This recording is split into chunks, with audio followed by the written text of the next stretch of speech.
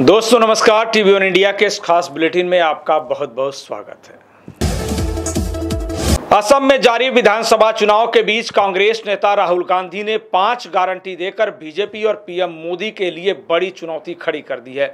दोहपुर rally में उमड़े जन सैलाब के बीच राहुल ने 200 यूनिट तक फ्री बिजली, चाय बागान के कामगारों के लिए तीन सौ पैंसठ रुपए डेली वेजेस फ्री एजुकेशन और महिलाओं के लिए प्रतिमाह दो हज़ार रुपये का आर्थिक मदद का वादा किया है।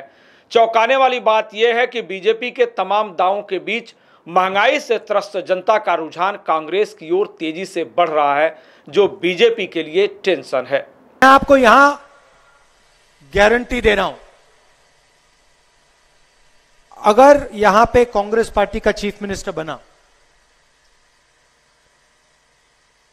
मेरा वायदा है उसका नहीं, मेरा वायदा है कि तीन रुपए आपको मिलेंगे, चाहे कुछ भी हो जाए, कोई कुछ भी कह ले। मुंबई के पुलिस आयुक्त रहे परमवीर सिंह की एक चिट्ठी से महाराष्ट्र की राजनीति में भूचाल मच गया है। परमवीर सिंह ने सीएम उद्धव ठाकरे को चिट्ठी लिखकर बताया है कि किस तरह गृह मंत्री अनिल देशमुख पुलिस विभाग से हर महीने 100 करोड़ कमाई की मांग कर रहे थे। सचिन वाजे प्रकरण में परमवीर सिंह के तबादले के बाद यह खुलासा हुआ है, जिसने महाराष्ट्र की महाविकास आघाड़ी सरकार और पुलिस महकमे की कलई खोल कर रख दी है। इस मामले को लेकर विरोधी दल बीजेपी हमलावर हो गई है। पूर्व मुख्यमंत्री और नेता प्रतिपक्ष देवेंद्र फडणवीस ने इस मामले की निष्पक्ष जाँच के साथ ही सीएम उद्धव ठाकरे और गृह मंत्री को तत्काल हटाने की मांग की है। मुंबई के पूर्व पुलिस कमिश्नर और सर्विंग डीजी श्री परमवीर सिंह इन्होंने पत्र के माध्यम से जो आरोप लगाए हैं, वो अत्यंत गंभीर है। मैं तो ऐसा मानता हूँ कि जो जिलेटिन की स्टिक्स मिली है, उससे भी ज़्यादा विस्फोटक इस प्रकार के ये सारे के सारे आरोप दिखाई पड़ते हैं। गृह मंत्री जी ने तुरंत इस्तीफा देना चाहिए, वो नहीं देते तो उनको मुख्यमंत्री जी ने हटाना चाहिए और इसकी निष्पक्ष जाँच होनी चाहिए। या तो केंद्रीय एजेंसीज इसकी जाँच करें, और अगर इसमें राज्य सरकार को यह लगता है कि हमको केंद्रीय एजेंसी से नहीं करनी है तो कोर्ट मॉनिटर्ड इंक्वायरी इसकी होनी चाहिए। एंटीलिया और मनसुख हिरेन प्रकरण में बीजेपी ने महाराष्ट्र सरकार के खिलाफ मोर्चा खोल दिया है। आज बीजेपी ने पुणे में उद्धव सरकार के खिलाफ विरोध प्रदर्शन किया और गृह मंत्री अनिल देशमुख को वसूलीबाज मंत्री बताते हुए उनके तत्काल इस्तीफे की मांग की। बीजेपी प्रदेशाध्यक्ष चंद्रकांत पाटिल ने कहा कि मनसुख हिरेन हत्याकांड और सचिन वाजे प्रकरण में पुलिस कमिश्नर का खुलासा साबित करता है कि ठाकरे सरकार भ्रष्ट है और ऐसी सरकार को तत्काल बर्खास्त कर देना चाहिए। अब यह स्पष्ट है कि कोई एक मंत्री नहीं, ठाकरे सरकार भ्रष्ट है। अभी जो एक्शन होनी चाहिए, वो अनिल देशमुख को इस्तीफा देना है, अनिल देशमुख पर कार्रवाई होनी चाहिए और ये पूरे सरकार की कार्रवाई होनी पूरे सरकार पर कार्रवाई होनी चाहिए। तो परमवीर सिंह ये बता रहे हैं कि सारा विषय मैंने सबको अवगत किया। मुंबई के पुलिस कमिश्नर परमवीर सिंह द्वारा सीएम को लिखी चिट्ठी पर मनसे अध्यक्ष राज ठाकरे ने भी टिप्पणी की है।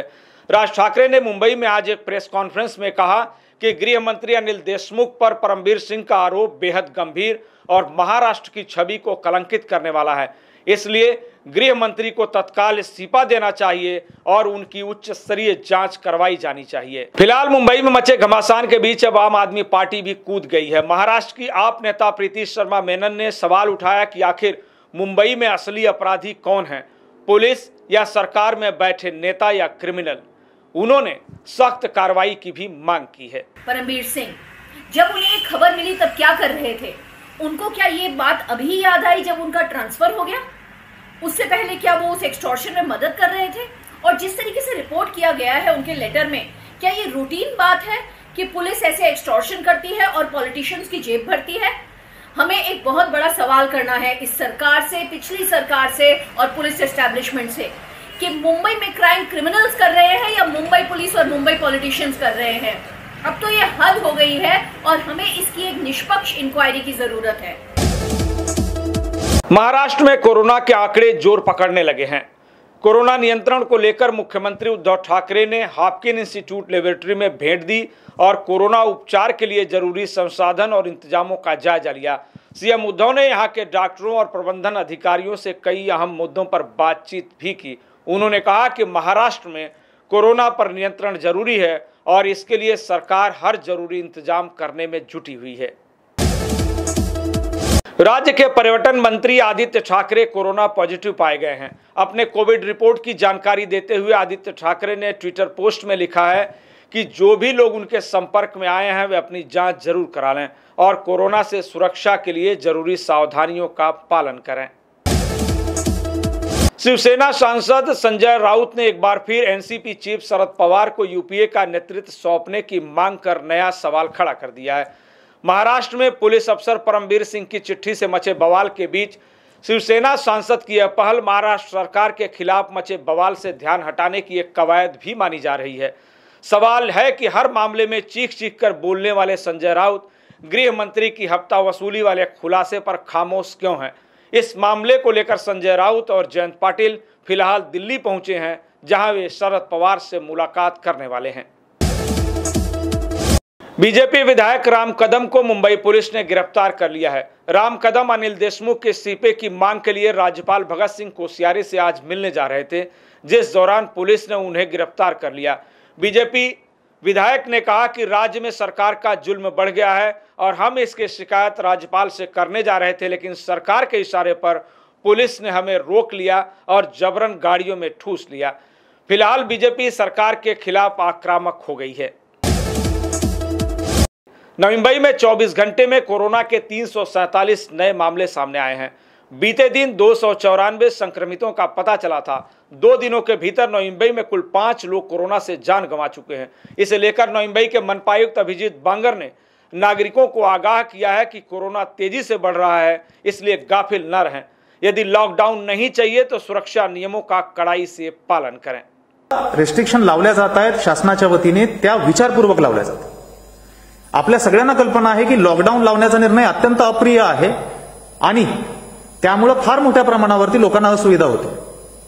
मात्र पेशंटची वाढ आपल्याला काही करून यामध्ये नियंत्रण मिळवणं गरजेचं आहे. अदरवाईज काही अप्रिय गोष्टी अतिरिक्त रेस्ट्रिक्शन आपल्याला लावल्या जाऊ शकते लॉकडाऊन नको असेल तर फार मोठ्या प्रमाणावर काळजी घ्यावी लागेल.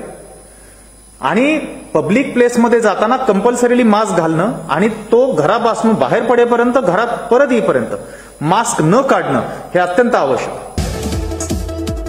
पर्यावरण सुरक्षा के साथ खिलवाड़ करते हुए नई मुंबई में एक सर्विस रोड के निर्माण की आड़ में सैकड़ों पेड़ों के काटने का मामला सामने आया है। स्थानीय पर्यावरण प्रेमियों ने इसके खिलाफ आवाज़ उठाते हुए महानगर पालिका और एमआईडीसी अधिकारियों को जिम्मेदार ठहराया है। आरोप है कि एक कारपोरेट कंपनी को फ़ायदा पहुँचाने के लिए सर्विस रोड के किनारे 10 साल से अधिक पुराने पेड़ों का कत्लेआम करवा दिया गया। हालाँकि इस बारे में शिकायत के बाद भी मनपा अधिकारी जवाब देने को तैयार नहीं है। बांगर साहब को बोलता हूँ, सर, आप आइए, जगह पे विज़िट कीजिए। इधर आपका रोड बंद करवाइए, ज़रूरत है तो ओवरफ्लाई मारिए, लेकिन एक भी पौधे का आपने काटा है, उसका ऊपर एफ़ करवाइए, उसका इंक्वायरी करके जो कौन उसके लिए जिम्मेदार है, उनके लिए आप एक्शन कड़क लीजिए, और ये जो भी पौधे काटे, हमारे एक एक बच्चे हैं, सर, हमारे खुले हम आग के सामने आप हमारे बच्चों को ठार मार रहे आज के बुलेटिन में बस इतना ही। अगर आप मुंबई, महाराष्ट्र और देश विदेश की ताज़ा तरीन खबरें देखना चाहते हैं तो आप टीवी वन इंडिया लाइव को सब्सक्राइब करना मत भूलें। नमस्कार। लेटेस्ट अपडेट्स और ताज़ा तरीन खबरों के लिए टीवी वन इंडिया लाइव को सब्सक्राइब कीजिए और नोटिफिकेशन पाने के लिए बेल आइकॉन को दबाना मत भूलें